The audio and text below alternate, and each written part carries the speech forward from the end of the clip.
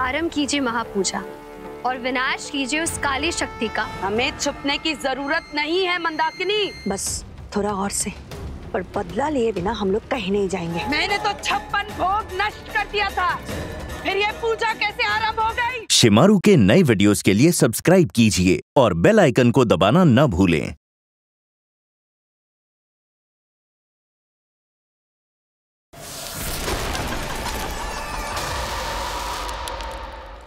ये सब क्या है बेटा?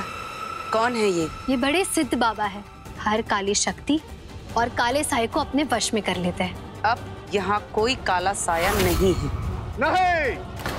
पूरी तरह से नहीं। अभी भी इस महल पर काली शक्तियों का प्रकोप है। चलिए बाबा डाकिनी हो या चुड़ैल अब इस महल से भगाना ही पड़ेगा उन्हें।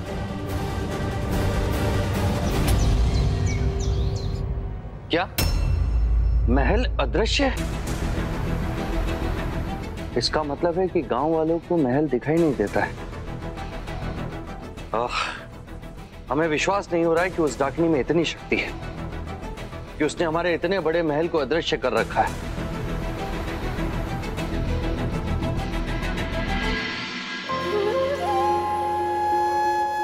सुने ना आज तुम्हारी वजह से हमें इतना बड़ा सच पता चला है। इसके लिए हम तुम्हारा उपकार उपकार? नहीं। ये तो मेरा धर्म है। जानती हो सुने ना।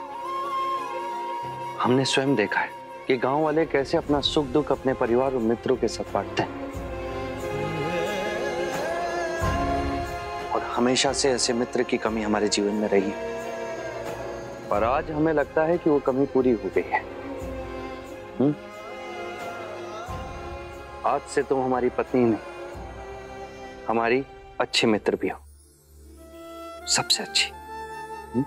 तो सुन लो, मित्रता में क्रोध का कोई स्थान नहीं होता। और अच्छे मित्र एक दूसरे का ध्यान भी रखते हैं और एक दूसरे पर भरोसा भी करते हैं। तो आज से क्रोध कम।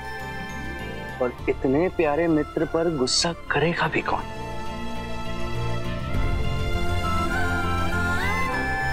हमारे जीवन में आने के लिए तुम्हारा बहुत बहुत धन्यवाद सुनैना। कितनी बार कहा है?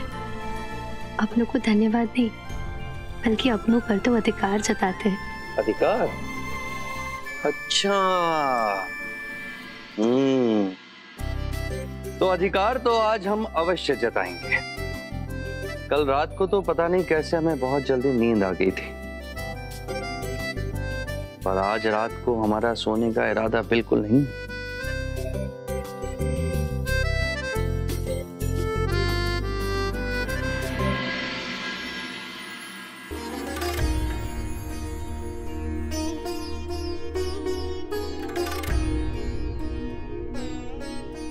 एक बात बताएँ सुने ना शर्म से गुलाबी ये चेहरा। मैं और भी आकर्षक लगता।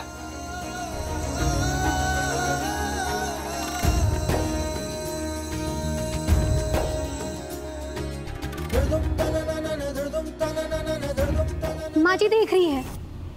माँ? कहा है माँ?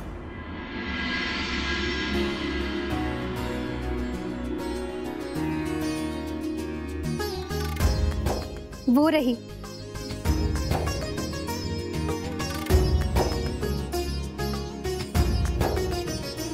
पर तुम हमें छोड़कर ऐसे नहीं जा सकती हो। आ, जागा रही हो। पूजा की तैयारी करने।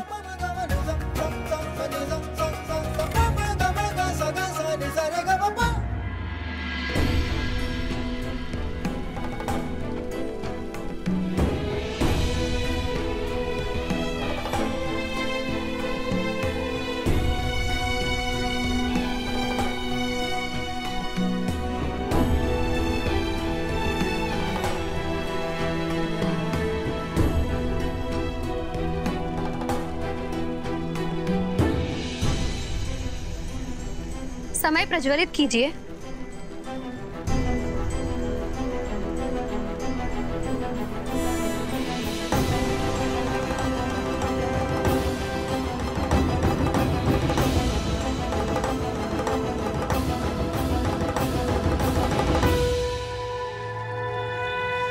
या देवी सर्वभूतेषु मा अम्बे माता रूपेणु संस्थितां नमस्तस्यै नमस्तस्यै। नमस्तस्यै नमो नमः। अम्बे मात की। जय।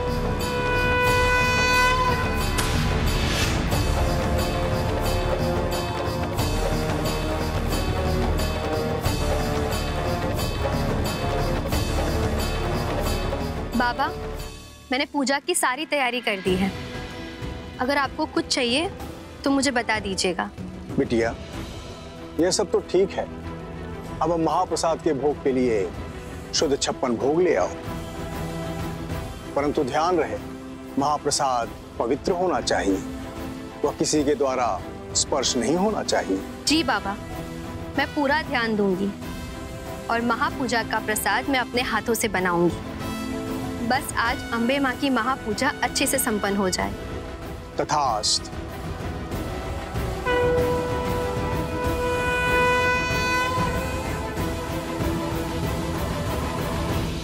माँ इससे पहले गेहूँ के साथ खून की तरह हम भी पिस जाएँ यहाँ से भाग लेते नहीं कनक इतनी तकलीफ़ सही है हम लोगों ने। बस थोड़ा और से पर बदला लिए बिना हम लोग कहीं नहीं जाएँगे। पर पर इस बाबा से कैसे बचेंगे? बचेंगे कनक देख लेना हम लोग बचेंगे। भोग बनाना है ना महाप्रसाद के लिए? तो देख कैसे बनेगा ये अनछुआ पवित्र भोग?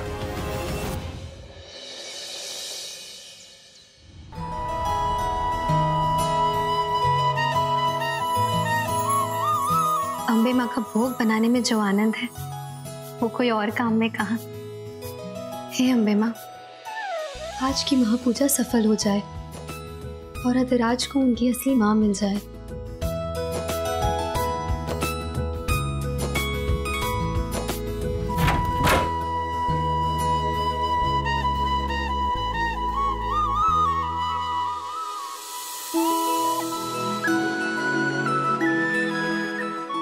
कोई अंदर आ पाएगा और ना ही कोई भोग को हाथ लगा पाएगा।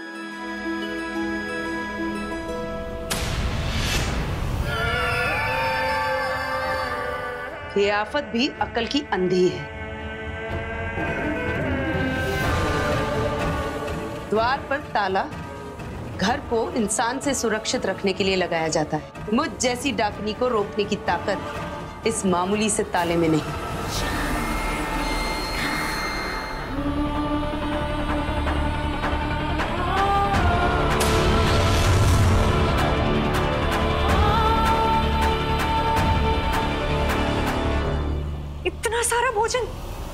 इसे देखकर तो मुझसे लाटा पक रही है।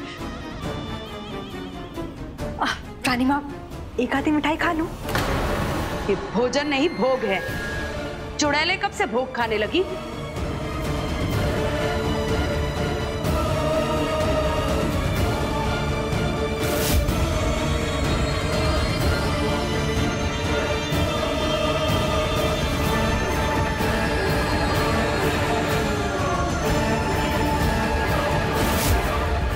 लगाती रहना अपनी अम्बे माँ को छप्पन भोग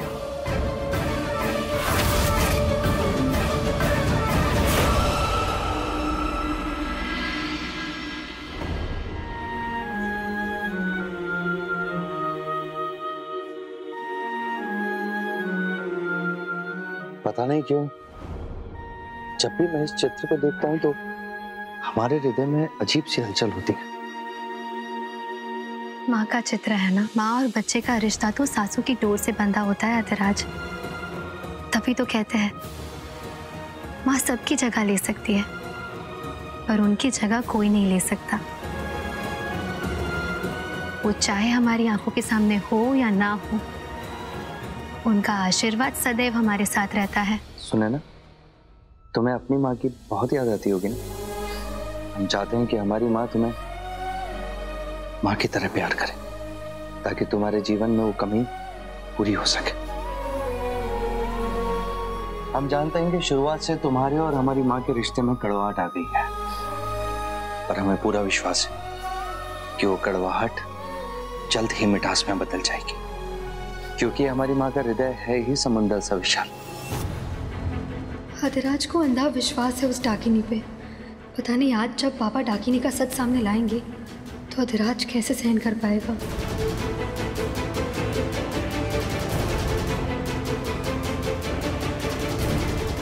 कहाँ खो गई कहाँ खो गई मैं यही सोच रही हूँ। आप गाँव वालों से जाकर बात क्यों नहीं करते? इस महल के बारे में? उन्हें उनके आदर्श राजा साहब के बारे में जानने का पूरा अधिकार है। आखिर गाँव वाले राजा साहब के जीवन का अहम हिस्सा रहे हैं। हम्म।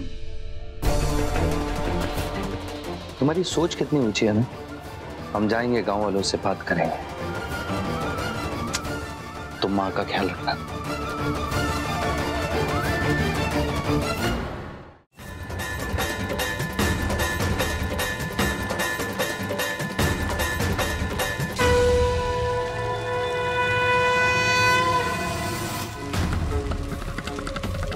कल्याण हो। शुभ मुहूर्त आरंभ हो चुका है। सुनैना बिटिया से कहिए कि वो भोग सामग्री ले आए।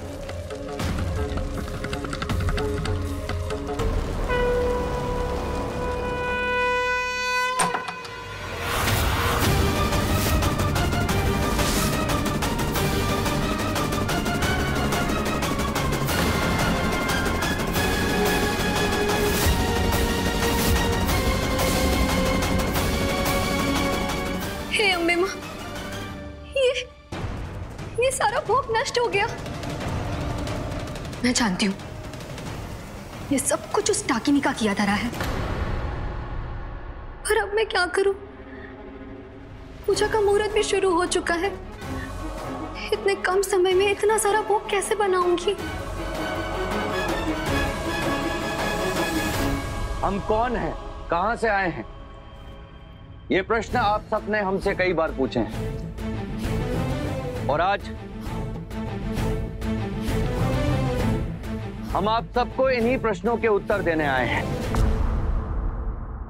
हम आपके स्वर्गीय राजा साहब के सुपुत्र राजकुमार अधिराज हैं। राजकुमार अधिराज हैं। राजकुमार अधिराज हैं।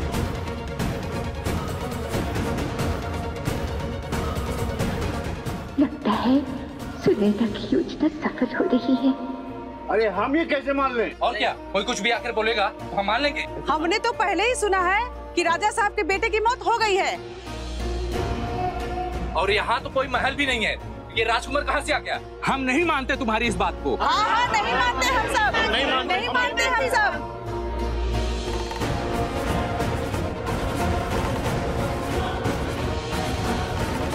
वो बाबा भी कह रहे थे कि महल बाहर से दिखाई नहीं देता। इसका मतलब महल पर सच में काली शक्ति का प्रकोप है। हम नहीं मानते तुम्हारी बात। हम नहीं मानते हम नहीं मानते। मैं मैं मानती हूँ। मैं मानती हूँ। मुझे पूरा विश्वास है राजकुमार सत्य कह रहे हैं।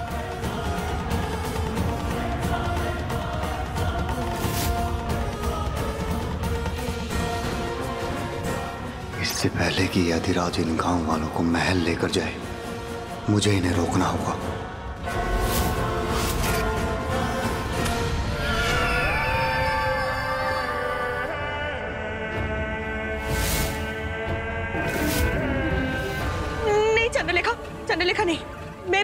नहीं जाऊँगी। जब तक वो महापूजा खत्म नहीं हो जाती, मैं अपने कक्ष से बाहर नहीं जाऊँगी।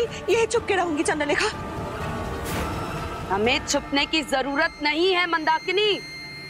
अब तक तो वो महापूजा कब की भंग भी हो गई होगी। चलो, बाहर चलकर देखते हैं। उस आफत के चेहरे पर पराजय देखने में बहुत आनंद आएगा। चलो, अब देखना कैसे वो आफत बकरी की तरह में आकर कहेगी बाबा क्षमा कर दीजिए महाप्रसाद नष्ट हो गया.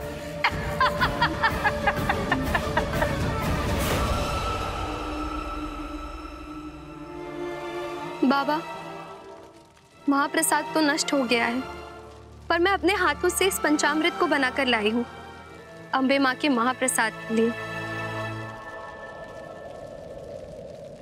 बेटी चिंता की कोई आवश्यकता नहीं। पाँच अनमोल द्रव्यों से बने इस पंचामृत से भला कोई और भोग पदार्थ अधिक पवित्र हो सकता है क्या? अम्बे माँ को समर्पित कीजिए।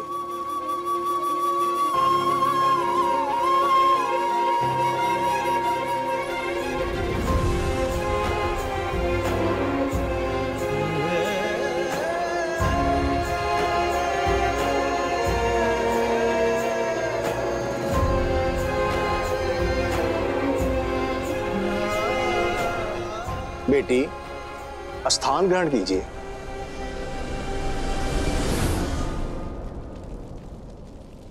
सारी तैयारियाँ हो चुकी है बेटी। अब पूजा आरंभ करेंगे। हाँ बाबा आरंभ कीजिए महापूजा और विनाश कीजिए उस काली शक्ति का जिसने इस राजमहल को राजमहल बनाया है। अवश्य।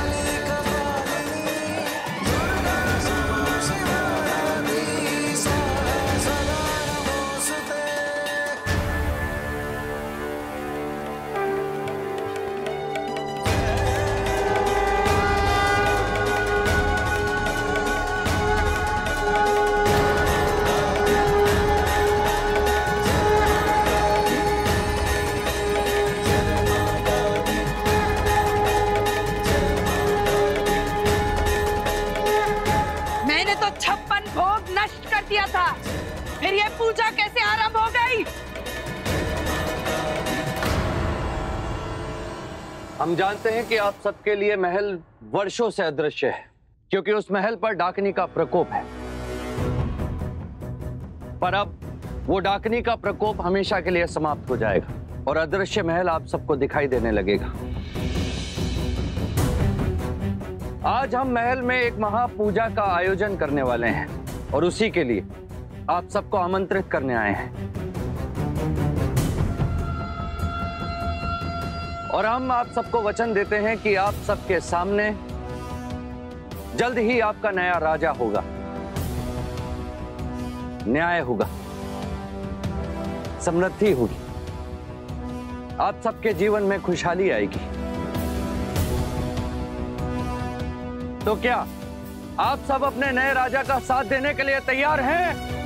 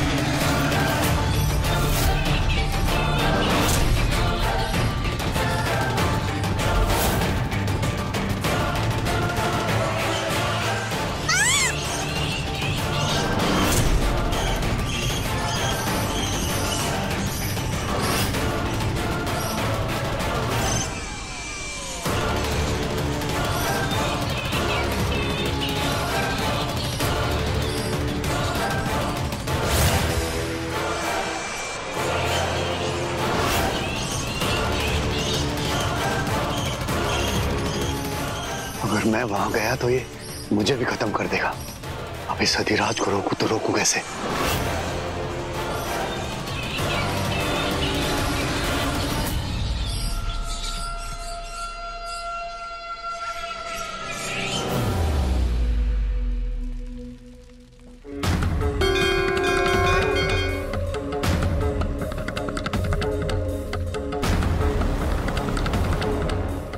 स्वाहा! स्वाहा। स्वाहा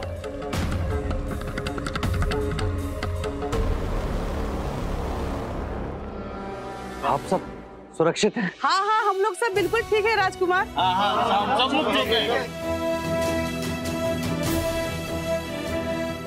अब हम समझ गए कि आप जैसे होनहार राजा के होते हुए हमारा कोई कुछ नहीं बिगाड़ सकता। कोई कुछ नहीं कर सकता कोई कुछ नहीं कर सकता। राजकुमार अधिराज की राजकुमार अधिराज की राजकुमार अधिराज की राजकुमार अधिराज की राजकुमार अधिराज की राजकुमार अधिराज की राजकुमार हम सब आपके साथ हैं। और आपके साथ हम पूजा में सम्मिलित होने जाएँगे। हाँ हाँ हम सब जाएँगे हम सब जाएँगे। ज़रूर जाएँगे। हाँ हाँ हम सब जाएँगे। हाँ हाँ हम सब जाएँगे।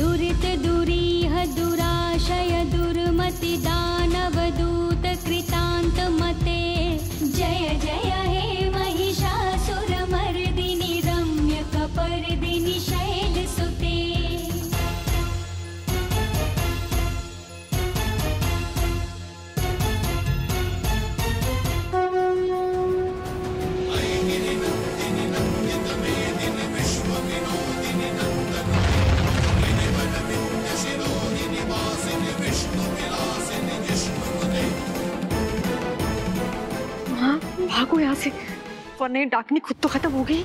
साथ साथ हमारा भी, विनाश करवाएगी। चल चल चल।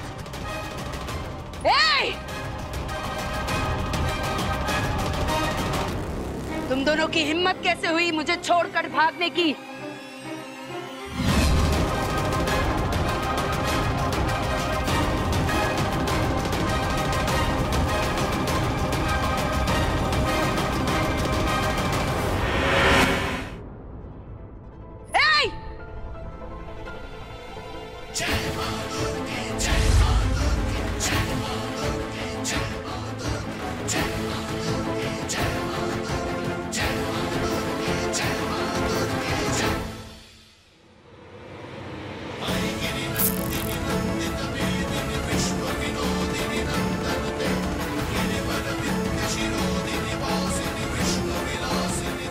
लगता है इस महल को उस बाबा ने सुरक्षा कवच से बाँध दिया है। अब हम इस महल से बाहर नहीं जा सकते। अब अब हम क्या करें चंद्रलेखा? हम क्या करें?